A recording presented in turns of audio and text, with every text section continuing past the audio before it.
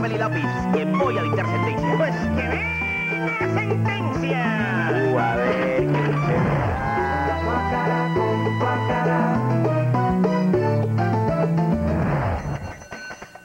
Para todos los asistentes a esta audiencia, entrar en la sala el señor juez. ¡Albergue!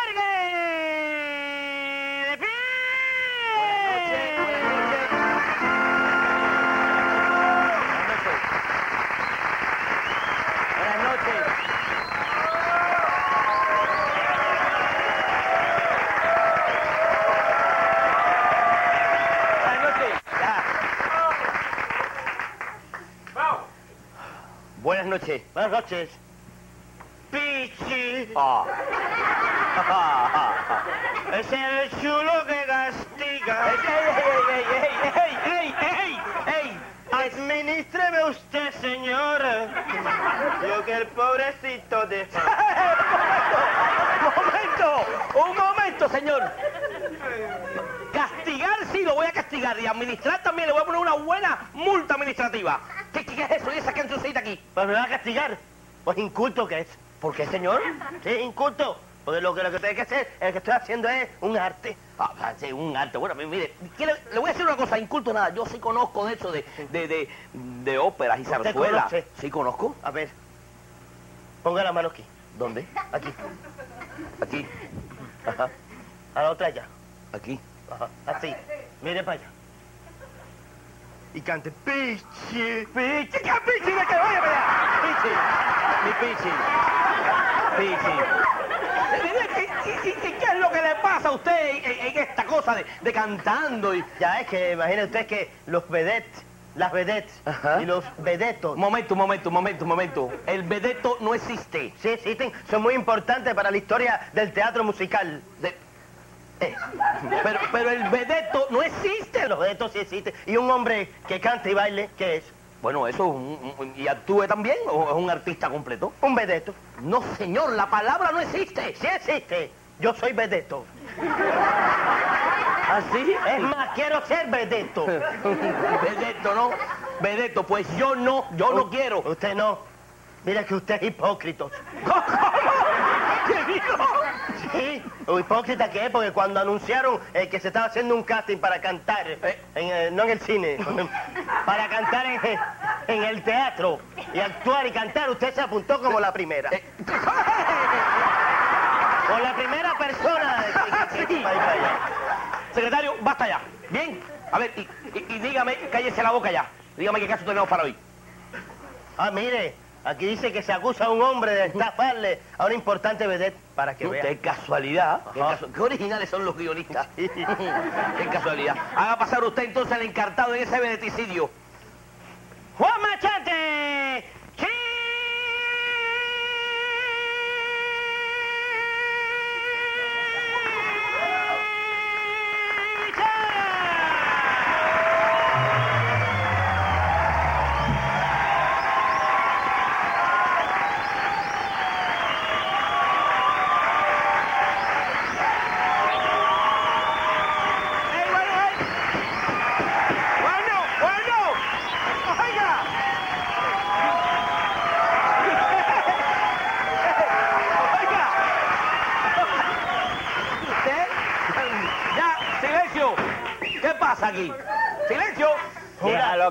Gente sabe, deja lo que saben lo que están haciendo. Jura decir la verdad, solo la verdad y nada más que la verdad. Me dijeron que el otro día me dijo un pajarito vino volando y me dijo al oído, otro, que el otro día usted entró en una pizzería de tercera con tremendo aguaje y tremenda especuladera. Vaya. Y cuando leyó el precio del menú, chilló goma y metió una marcha atrás, que para qué le digo. Y déjame decirte la otra. Tú sabes que estoy de lo más contento por haberme elegido padrino de tu hijo. Y yo quiero que sepa todo el mundo que lo voy a querer, ya lo quiero, con locura. Y te felicito por ser padre y quiero que todo el mundo aquí te dé un aplauso. Por eso.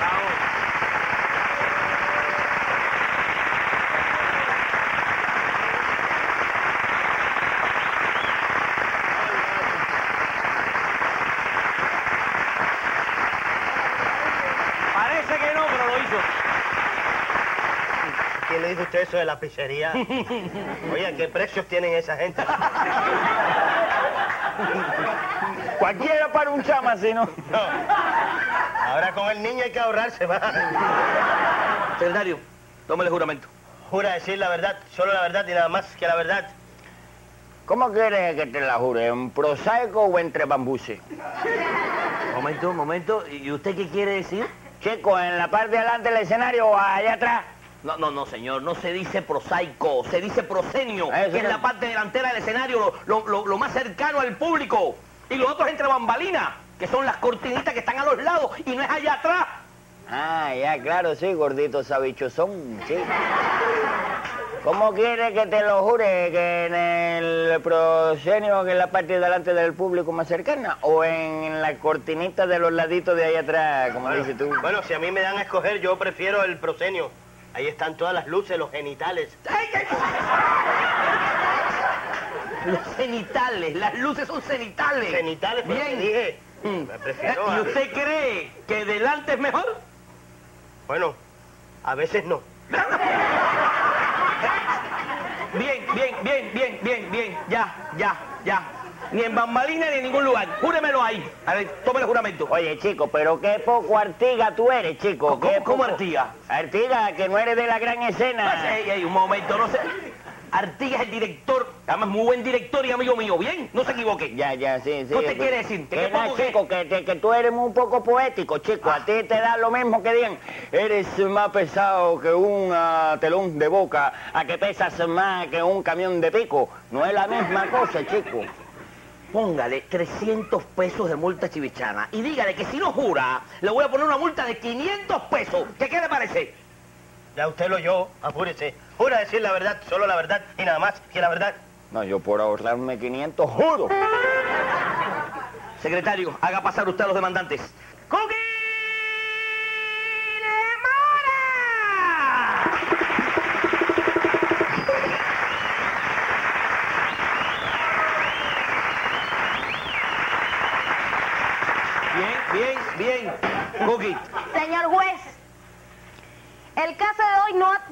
Ni que se discuta.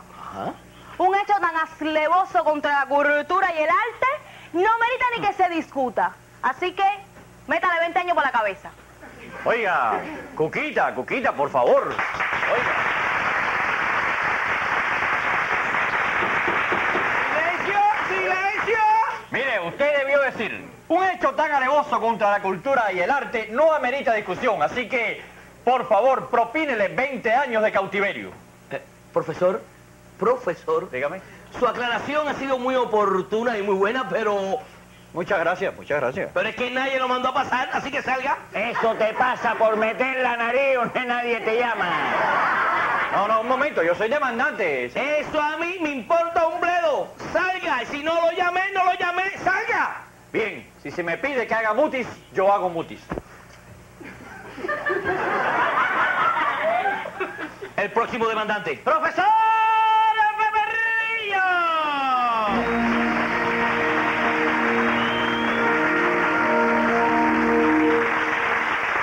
Ser o no ser, ahí sí hay problema. ¡Qué barbaridad! ¡Qué atropello por una burocracia, cara! 40 pesos de multa, profesor. Es que es inconcebible. 50 pesos de multa. ¿Qué? ¿Va a seguir? A que tú no eres machito y dice una silábica nada más vaya. 100 pesos de multa. Pero- A Chivichana. Oye, tú... ¿Va a seguir? El próximo demandante.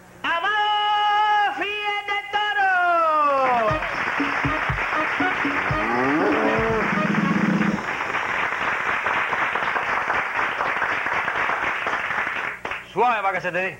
Bien, si ya están todos los demandantes, pues que hable el que tenga lengua. Y ahí va Amado, que tiene como 3 kilómetros de ventaja sobre su contrincante más cercano. Es un reporte de Chivichana López. Hay frío en el terreno. Sí, Oiga. y el aire está soplando de izquierda a derecha.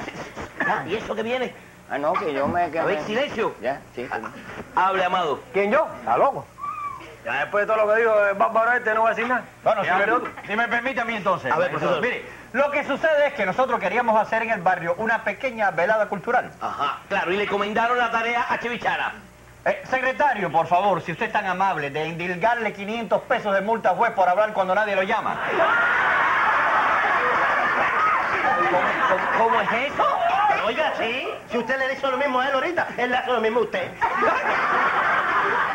Aquí el que manda poner multa soy yo. Y yo hablo cuando me dé la gana. ¿eh? Y me mando yo mismo cuando me dé la gana. Es más, me mandé. Vaya.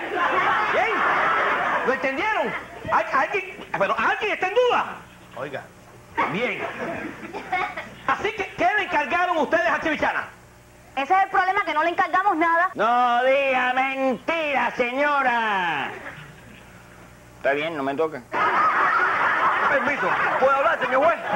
Sí, amado, hable usted. el problema es que estábamos cortos de dinero y no teníamos dinero. Claro, estábamos cortos de dinero, no, no podíamos contratar a muchos artistas. Entonces ahí surgió la idea entre nosotros de contratar a un artista que desde su singularidad solitaria llevara dentro de sí todas las habilidades y virtudes del complejo arte de la representación escénica. ¿Qué? Un todo en uno. oiga, ¿Eso, amado? Un actor que cantara, actuara a la misma vez. Sí, chico, eso que le llaman en la no, la dramaturgia teatral, una bendita. No, no, eso que usted dice, señor, es para los rasponazos. La, la que hace todo eso es una vedette. No, hombre, no, una BD, una bronca entre italianos. No, no, no, no, señor, eso es una vendetta. No, hombre, no, la vendetta es el agua de la iglesia. No, no, no, ese es el agua bendita. Y el agua de la iglesia es la que sirve para los rapuñazos. Está bueno ya. Está bueno ya, Chivichana, ¿bien? Si vuelve a interrumpir, le pongo una multa de 600 pesos ahora. A ver, entonces ustedes, ¿contrataron sí o no a la vedette? Por supuesto que sí, señor juez. La mejor que existe, la mejor que ha existido. Momentico, pero ¿cómo, ¿cómo va a poder ser eso si, si dicen ustedes que no tenían dinero? No, señor juez, pero es que esa persona es muy buena gente. Es una gente muy noble, le gusta ayudar a la gente y por eso la contratamos a ella. Claro, precisamente esas cualidades la, la convierten en lo que es, aumentan la grandeza de su alma, señor. De ahí mi frase, señor juez, ¿Qué frase? Que la curritura no tiene momento fijo. ¿Me entiende? Sí, lo entiendo. Lo que no entiendo es qué tiene que ver en todo esto el acusado. Y si tú no entiendes con lo inteligente que tú eres, ¿eh? Dice inteligente. Ah, inteligente. Y con, si tú no lo entiendes con lo inteligente que tú eres, ¿qué voy a entender yo que soy un chivichana cualquiera? Por lo tanto, como dice el profesor, yo voy a hacer cutis. No, no, no, no, no, no, no, no. Se dice mutis, mutis. Yo voy a ser mutis. Tú también. Nos vamos los dos. Oye, ¿dónde tú ibas que no va? Váyate ahí. Oye, chico, esto, te anuncian esto y te da susto. Dime tú que no te lo anuncian. ¡No, Pantera!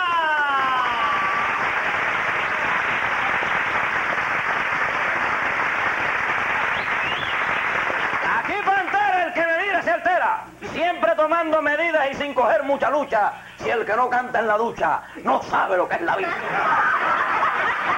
Como te estoy trayendo gente a declarar, fíjate que no te traje la caperucita roja porque el lobo no tiene zapatos. ¿Qué pasa, señor? Lo que te traigo, misión cumplida.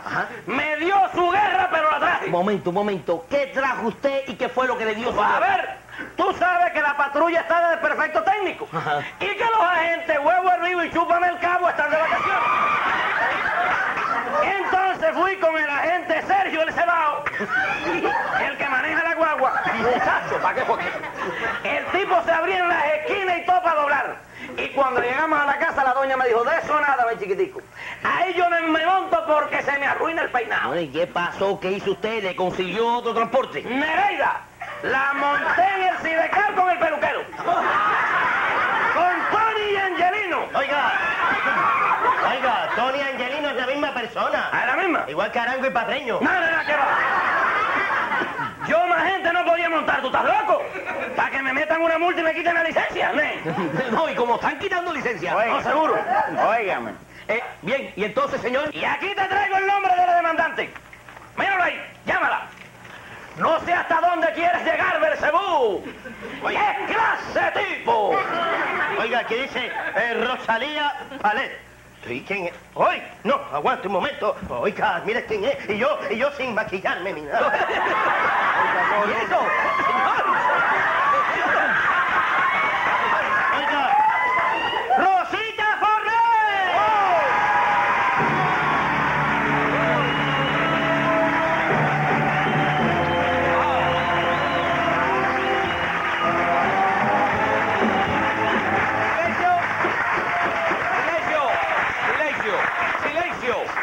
Señora, déjeme aclararle que suceda lo que sucede en este juzgado, eh, puede tener la seguridad de, de mi más alta estima y consideración. Ay, muchas gracias, señor juez. Es usted muy amable, muy Oiga, amable. yo- y todos han yo, sido yo la veo y no, y no la creo. Ay. Permiso, la Ay, veo. papá. No las creo. Papá. Oiga, ya, ya me puedo reunir con los angelitos, la diva. Ay, qué lindo.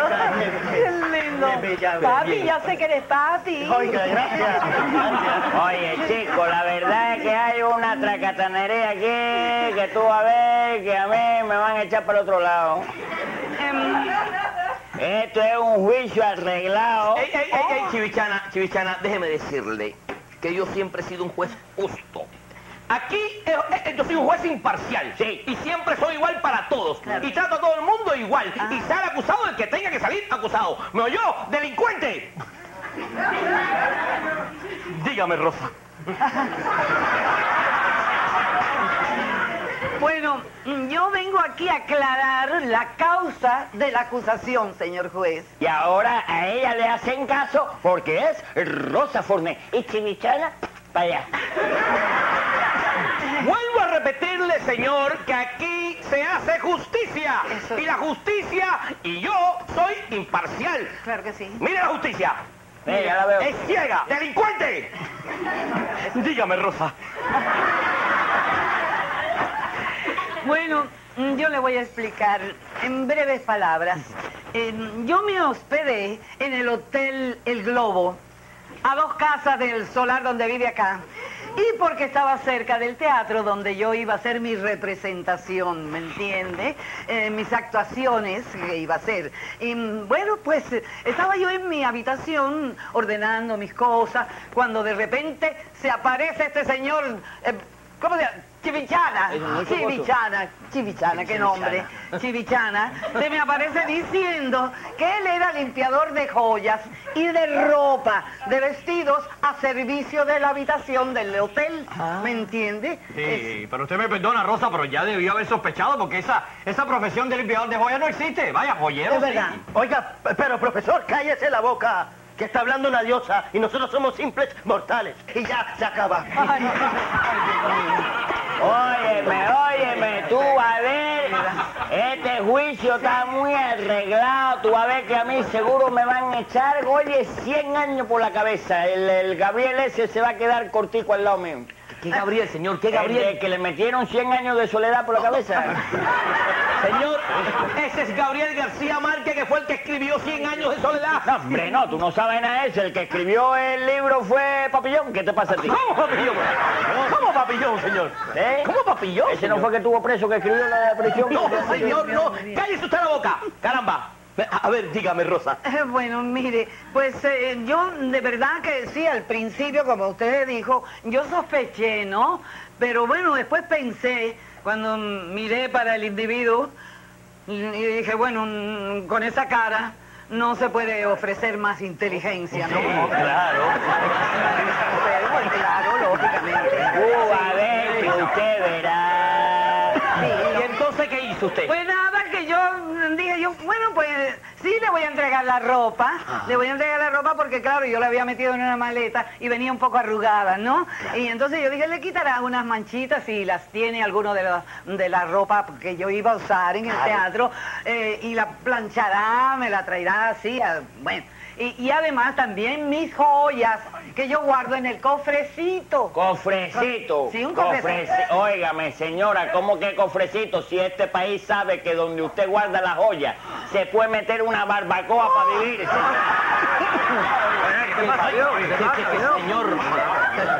Mire, magistrado. Dígame, profesor, Magistrado, dígame. Es evidente que su actuar fue pasto de la inocencia, señor mío. Sí. Que todo estuvo en correspondencia con su alma grandiosa y distraída. Que Claro. no tuvo en cuenta lo peyorativo del decursar de los hechos que podrían convertirse en una calamidad. ¿Qué? Que pecó. Di tú. Acabó con ella, señor juez. Oiga, qué horror. Chivichana. Chivichana. Chico, chico, mira, yo te juro por mi madre que yo le devolví todo a la doña, chico. Se lo devolví todo limpiecito, limpiecito. ¡Ay! Ay. ¡Ay! ¡Ay! ¡Ay! Mira, tú quieres ver cómo yo me quito los zapatos y te rajo la cabeza. Que, óigame, qué chupería. Oiga, Eh, eh, yo- yo- Rosa, yo no Rosa. nada, yo no Mami, nada. ¿Qué fue lo que usted dijo, Cuquita? Yo ni he hablado, eh. Cuquita, a ver si habla más bajito, ¿bien? Esa chupería suya. Lo que pasa es que yo, soy una inocente y ya me gusta creer en la gente. Claro. Y creí en, en eso. Pero yo quiero aclarar aquí que la ropa que me devolvió, me la devolvió toda destrozada. Y además no era mía, no era la mía. Oye, pero quería que me no como coche coche como como ¡Ya, ya, ya, señor! Ya me detrabo, mira, de- mira que, que, que, que, que pro- que problema es, el problema es que, que mamita se equivocó porque la ella desembarcó la que se limpió lo que viene siendo la cocina y el, eh, y entonces eh, desarmó todo y le puso la cuchilla de la batidora a la lavadora y cuando metió ya tú sabes, tú, ¿para qué? Bien, ¿no? Eso es un accidente de trabajo, chico. Sí. Así Y las joyas, ¿eh? Las joyas, sí. Mi sortija de oro con la rosa oceánica. Y los aretes de esmeraldas. Y mi collar de perlas del Hawái. No, un momento, un momento. Vamos a dejar el descarete que yo ras- A la bien, a la bien. A mí me- yo raspé las perlas y esas perlas no son de ningún Hawái, son del Guajay, fantasía. Claro. ¿Cómo, ¿Cómo va a ser fantasía, señor? Fantasía, señor, yo lo descubrí. Bueno, sí, eh, sí, señor juez. El collar sí era una fantasía, pero finísima. Ah, Oiga, Sí, o- oiga, ¿quién lo iba a decir, Rosa? Eh, con fa- eh, bueno, eso fue que la estafaron. No, no, no, no, no, no, no. Los que venden joyas en el cupé No, afuera. no, no, diga. Óigame, eso era fantasía y, estoy, y estoy seguro que lo otro también era fantasía. Miren, no, señor. He dicho que el collar sí era una fantasía finísima, copia de una joya famosa. Pero lo otro no. Lo otro no, sí. no. Lo otro era Ay, Un momento, un momento, para todo el mundo aquí. No quiero equivocación con Rosa, para que sepa. Sí, verdad, No, no, se me ponga así, No se me ponga así, ese hombre merece que usted se ponga así. sí, a ella se le cayó.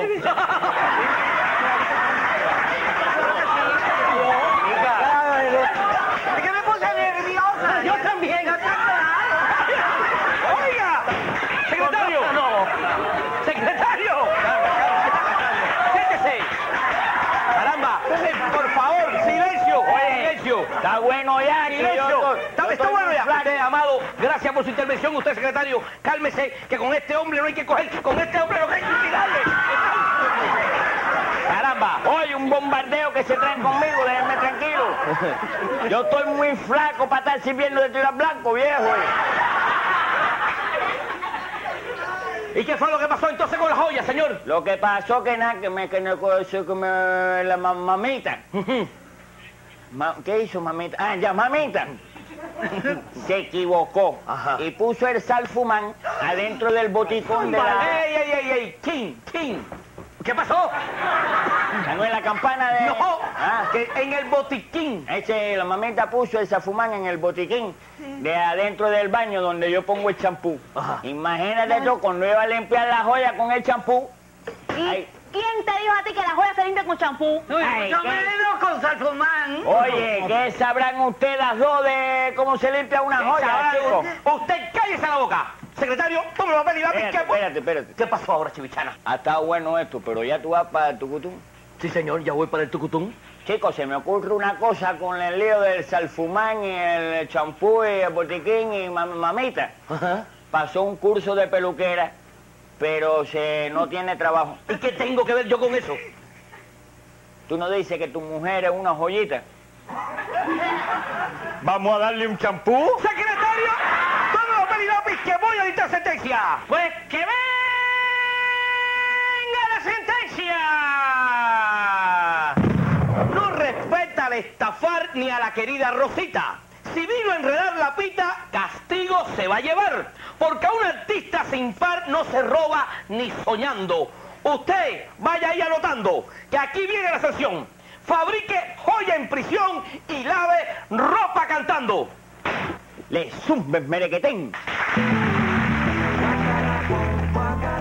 Permiso, señor juez. ¿Qué pasó? Revísese el bolsillo. ¿Qué pasa? ¿Está todo bien, Gordo? Sí, señor. No, no, porque mire, yo, mire, si me lo dieron. Un hombre vino y me dio. Y me dio esto. Mire, eso es su billetera y un paquete PPG. Oye, oye, oye, oye, oye. Corte ahí que son es mío, que va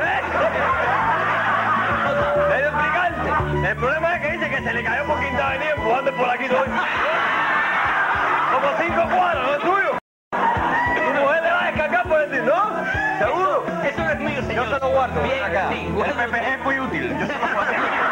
Queremos en nuestro programa hacerle un homenaje al cumpleaños de nuestra querida y simpatiquísima amiga Rosa Fornés. Muchas felicidades,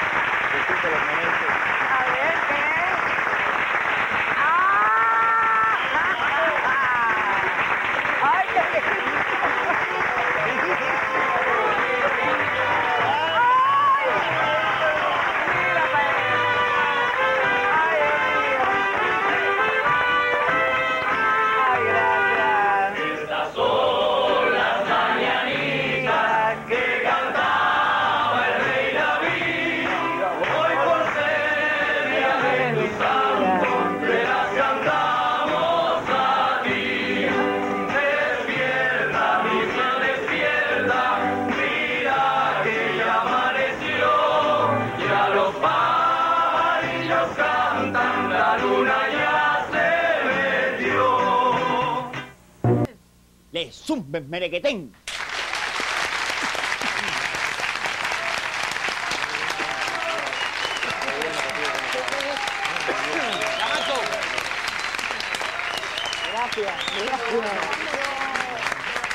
Muy bien, muy bien.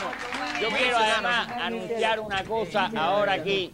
Este programa saldrá en los mediados de, de febrero. Queremos en nuestro programa hacerle un homenaje al cumpleaños de nuestra querida y simpatiquísima amiga Rosa Fornés. Muchas felicidades, que tú te lo mereces. A ver, ¿qué? ¡Ah! Ay,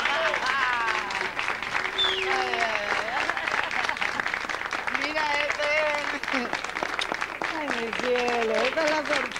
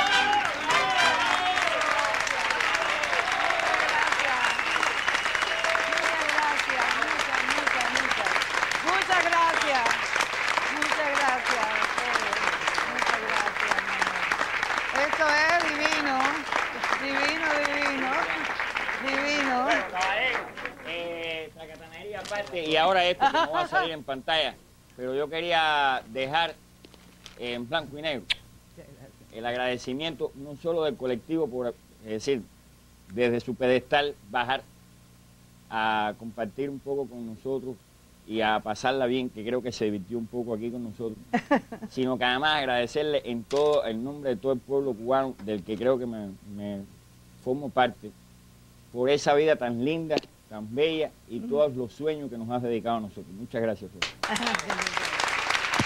Yo soy de ustedes, de todos ustedes, de todos, de todo mi pueblo. Yo soy de ustedes, de ustedes, de verdad que sí. A todos los he visto empezar. Bueno, gracias a todos ustedes, caballeros. Ay, A ti no te doy beso porque tienes sombrero muy grande. Sí, hay que cortar el queyo o algo de eso.